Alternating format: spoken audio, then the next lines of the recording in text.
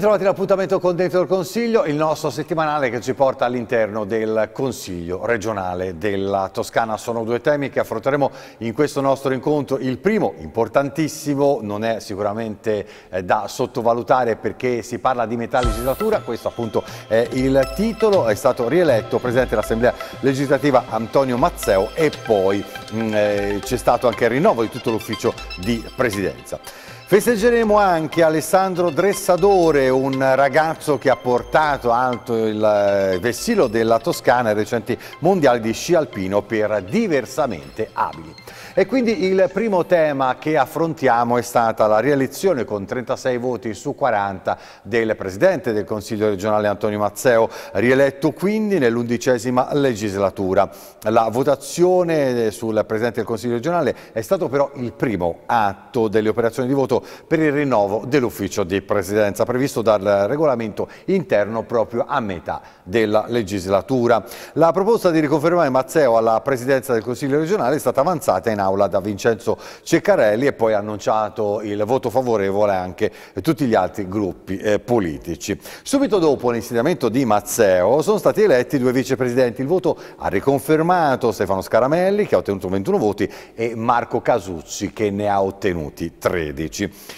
L'esito poi eh, di questa votazione ha dato il via anche a, diciamo così, cercare di capire e comprendere tramite votazioni come ehm, si componeva l'ufficio di presidenza del Consiglio regionale. Eh, quindi eh, ci sono due consiglieri con funzione di questori per il cui ruolo l'Aula ha votato il eh, consigliere Francesco Gazzetti e il consigliere Marco Stella. Gazzetti ha ottenuto 19 voti, Stella 13 e poi nel segno della comunità, mh, anzi pardon, pardon, nel segno della continuità eh, con l'ufficio di presidenza assente, anche l'elezione dei due consiglieri segretari dove l'Aula ha votato, eh, riconfermando la consigliera Federica Fratoni e poi il consigliere Diego Petrucci. Fratoni ha ottenuto 23 voti, Diego Petrucci 14, allora ascoltiamo eh, tutti quanti i consiglieri che compongono l'ufficio di presidenza del Consiglio regionale della Toscana.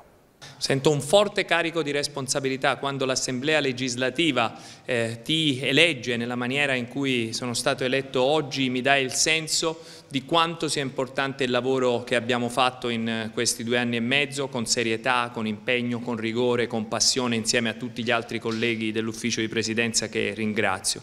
Noi davanti a noi abbiamo due anni e mezzo ancora molto complicati, usciamo dalla terribile pandemia, i primi mesi difficili, portati avanti da tutti con grande serietà, lo scoppio della guerra con tutto quello che ha significato, sicuramente perché le nostre coscienze sono state scosse, ma anche per quello che poi ha significato nella vita di ogni giorno delle cittadine e dei cittadini della nostra regione. La Toscana è sempre stata una terra d'accoglienza, una terra aperta, eh, inclusiva e vuole continuare ad esserlo.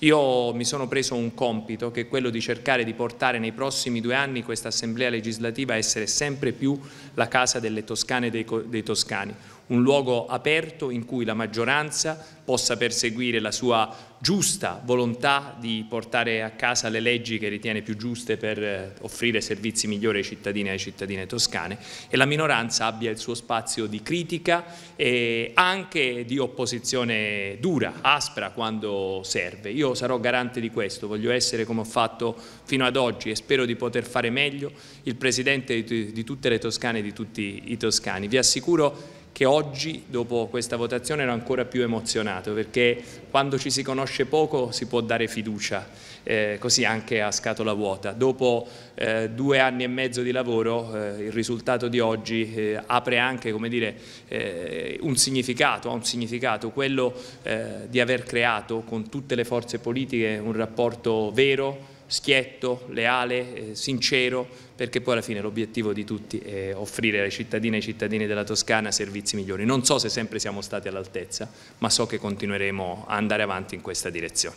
Con spirito di responsabilità e di servizio. Far parte dell'ufficio di presidenza del Consiglio regionale della Toscana è un grande onore, ma anche eh, ci spinge a dare il meglio di noi stessi e a migliorarci giorno per giorno. Siamo al servizio dei toscani e lo stiamo dirigendo la macchina del Consiglio regionale, facendo gioco di squadra quando va fatto. In effetti siamo riusciti a dare il nostro contributo insieme agli altri per proposte unitarie che sono state poi approvate dall'Aula. Mi riferisco in particolare sull'avanzo di bilancio.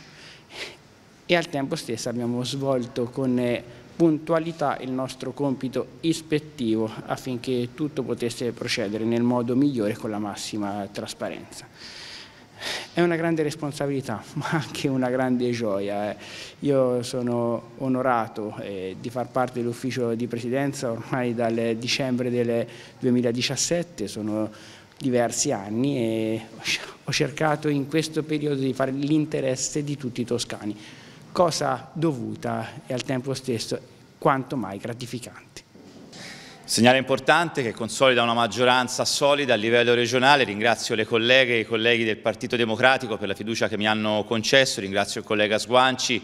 Si consolida la maggioranza di centrosinistra nel governo della nostra regione, si consolida e si rafforza il governo Gianni, nel contempo la mia figura di carattere istituzionale a garanzia di tutto il Consiglio regionale, di tutti i cittadini toscani, quindi la capacità di incidere nei processi dell'Aula, nella presidenza dell'Aula, in tante iniziative istituzionali che ho sostenuto nel territorio, ho, con il quale ho collaborato con Antonio Mazzeo, Presidente, anche lui riconfermato, e nel contempo ovviamente conferma del mio ruolo in questo momento anche di guida politica di Italia Viva a livello regionale, nel Consiglio regionale, a sostegno ovviamente di una maggioranza che si consolida con questo voto che compatta quindi questa nostra eh, coalizione.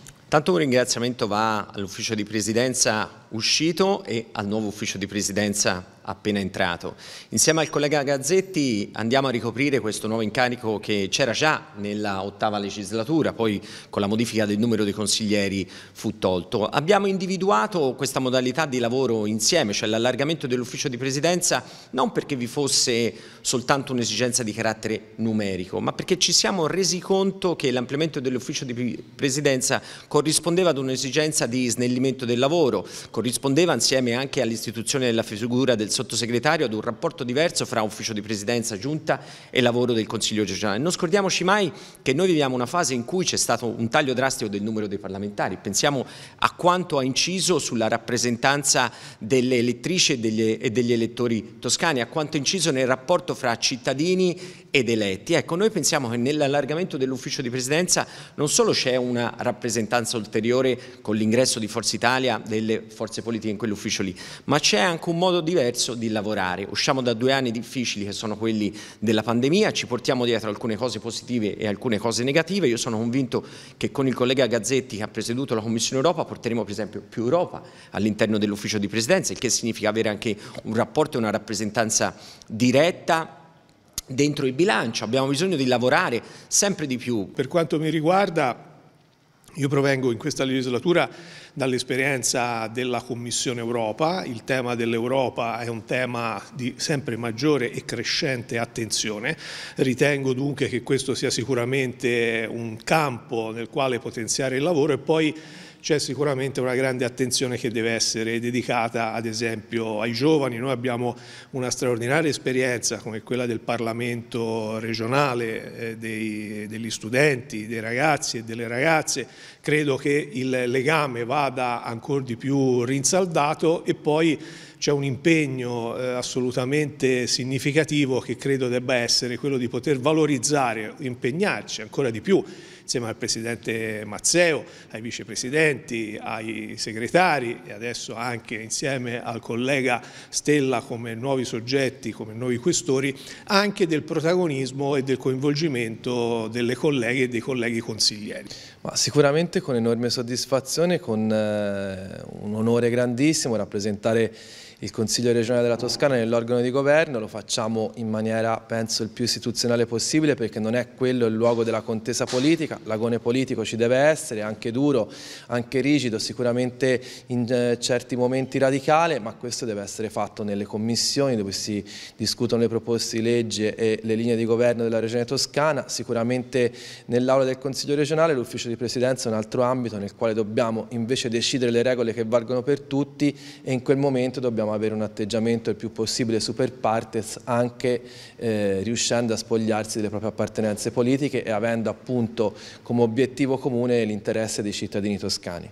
Ho voluto sottolineare il fatto che in questo ufficio di presidenza io sono l'unica rappresentante femminile e questo deve ovviamente impegnare ancora di più i lavori dell'ufficio e del Consiglio tutto a favore appunto del, di una parità di genere effettiva in stretta collaborazione con la Commissione Pari Opportunità perché credo che questo sia uno dei principi fondamentali sui quali ovviamente vogliamo lavorare.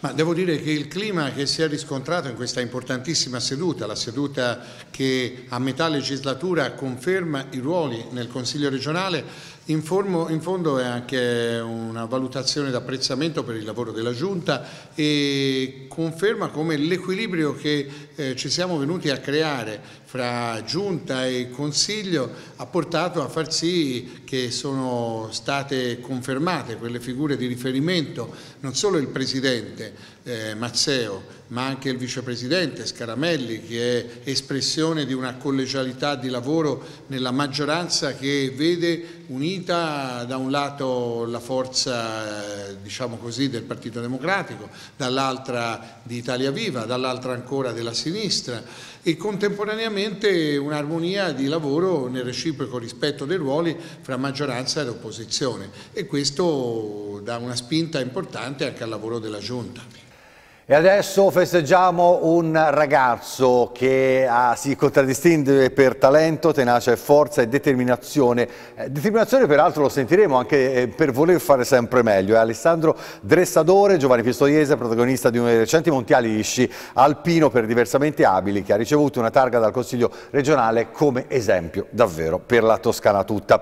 Eh, Dressadore è il portacolori dello sci club Doganaccia nel comune di Abetone Cutigliano sulla montagna pistoiese Pistoiese il pass per i campionati mondiali di sci per atleti diversamente abili è arrivato grazie agli ottimi risultati ottenuti ai campionati italiani disputati lo scorso anno nel 2022 proprio sulle piste della Dogaraccia. Sono davvero orgoglioso oggi di premiare Alessandro Dressadore. Il premio ad Alessandro è un premio all'impegno, alla voglia di farcela, al riconoscimento per portare in alto, in Europa, nel mondo, il nome della Toscana. Le due medaglie di bronzo conseguite quest'anno nei mondiali di sci alpino danno il senso delle qualità di Alessandro. Allora questo premio non è un punto di arrivo, vuole essere per lui un punto di partenza, speriamo di rivederlo qui a festeggiare risultati ancora migliori. C'è un team tecnico molto preparato che ha preso in carico e ha gestito Alessandro in un ambiente familiare come la Doganaccia che è riuscita a tirar fuori tutte le, le caratteristiche e le potenzialità di Alessandro. Lo sport è stato il, il, trampolino di lancio per inserirlo nella società, questo lo ha aiutato moltissimo perché lo sport eh, necessariamente ha regole, lo sport eh, fa apprezzare i, i compagni, riesce poi a dice, a rispettare gli avversari e soprattutto rispettare se stesso, quindi eh, tutte le regole che riguardano l'alimentazione, tutte le regole che riguardano la preparazione, tutte le regole del, del, che, che, sono necessarie per poter fare ad alti livelli perché eh, a questo punto bisogna riconoscerli che sono ad alti livelli il, tutta la sua attività.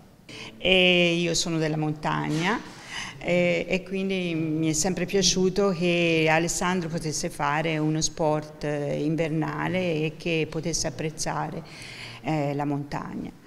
Abbiamo lavorato tanto sull'autonomia, ma lo sport è stato quello che ha dato ad Alessandro quella spinta in più per migliorarsi e, e essere so, socialmente preparato al, ai vari gruppi che avrebbe incontrato nella vita.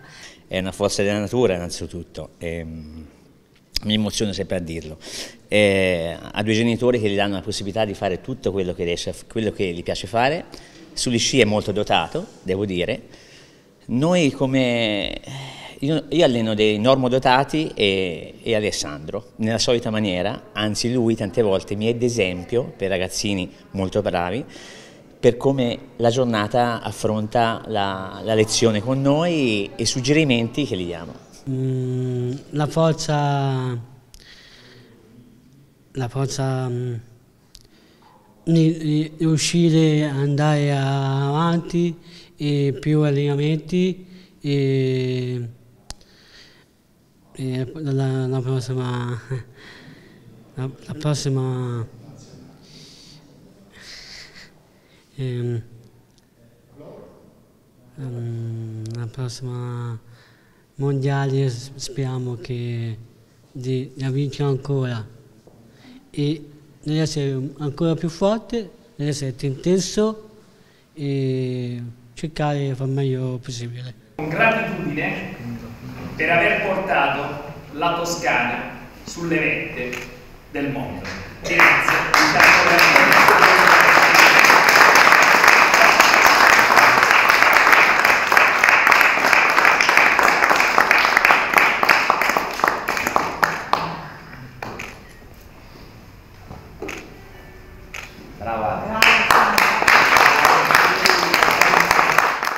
Ed è sempre emozionante vedere anche la premiazione di questo nostro eh, atleta eh, toscano. Con questa immagine si conclude il nostro appuntamento con Dentro il Consiglio. Vi ricordo per tutti gli aggiornamenti e le informazioni c'è il sito www.inconsiglio.it. Vi aspetto come sempre qua tra sette giorni dentro il Consiglio.